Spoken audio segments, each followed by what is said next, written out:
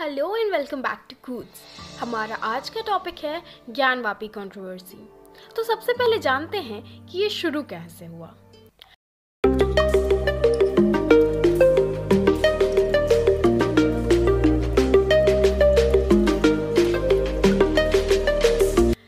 Controversy पहली बार उन्नीस सौ इक्यानवे में शुरू हुई जब कुछ स्थानीय पुजारियों ने दावा किया कि औरंगज़ेब ने काशी विश्वनाथ मंदिर के कुछ हिस्सों को मस्जिद बनाने के लिए ध्वस्त कर दिया है, जिसे मूल रूप से मालवा साम्राज्य की महारानी अहिल्याबाई होलकर ने बनवाया था।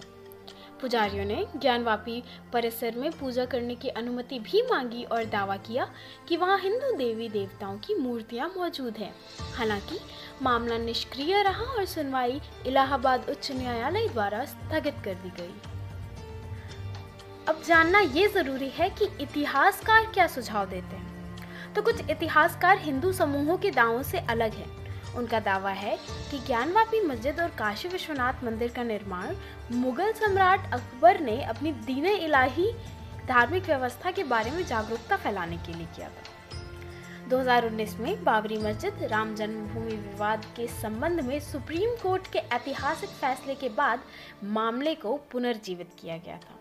उसी साल इलाहाबाद हाई कोर्ट में एक पिटिशन दायर की गई थी, जिसमें भारतीय पुरातत्व सर्वेक्षण, यानी कि आर्कियोलॉजिकल सर्वे ऑफ़ इंडिया द्वारा ज्ञानवापी मस्जिद का सर्वेक्षण करने की मांग की गई थी। 2021 में दिल्ली की महिलाओं द्वारा एक और याचिका दायर की गई, जिन्होंने हिंदू देवताओं की पूजा करने की अनुमति मांगी, जिनकी मूर्तियाँ मस्जिद की दीवारों पर स्थित है।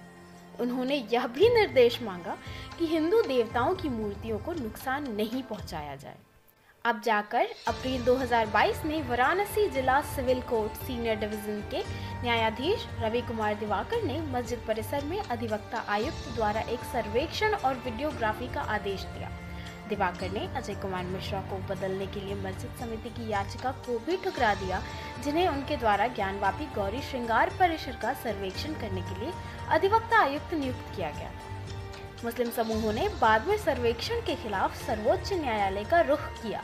लेकिन शीर्ष अदालत द्वारा सर्वेक्षण पर यथास्थिति का अंतरिम आदेश देने से इनकार करने के बाद निराश हो गए। अदालत, हालाँकि ज्ञानवापी परिसर के सर्वेक्षण के खिलाफ एक मुस्लिम पक्ष की याचिका को सूचीबद्ध करने पर, विचार करने पर सहमत तो हुई है।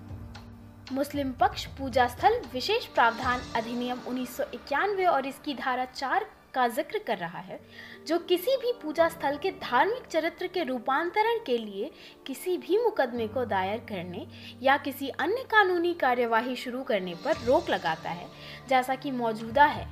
अब सर्वेक्षण के बाद आने वाली रिपोर्ट पर सबकी नज़र थी। तो ये जानते हैं कि रिपोर्ट क्या कहती है। वाराणसी की ज्ञानवापी मस्जिद की दूसरी सर्वे रिपोर्ट कोर्ट को सौंप दी गई है। कोर्ट कमिश्नर विशाल सिंह ने कोर्ट को 12 पेज की रिपोर्ट सौंपी।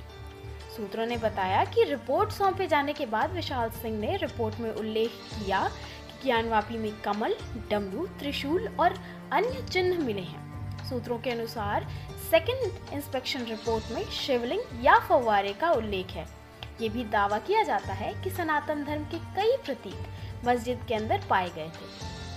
निरीक्षण रिपोर्ट में कहा गया है कि तहखाने की दीवार पर भी सनातन धर्म के निशान मिले हैं। इससे पहले कोर्ट के पूर्व कमिश्नर अजय कुमार मिश्रा ने 6 और 7 मई को सर्वे रिपोर्ट कोर्ट को सौंपी थी। सूत्रों के अनुसार, सर्वे रिपोर्ट में खंडित मूर्तियों, देवताओं की कलाकृतियाँ, कमल की कलाकृतियाँ, शेषनाग कलाकृतियाँ, नागफनी के आंकड़े, वॉल माउंट और लैम्प के प्रमाण मिलने का दावा किया गया है।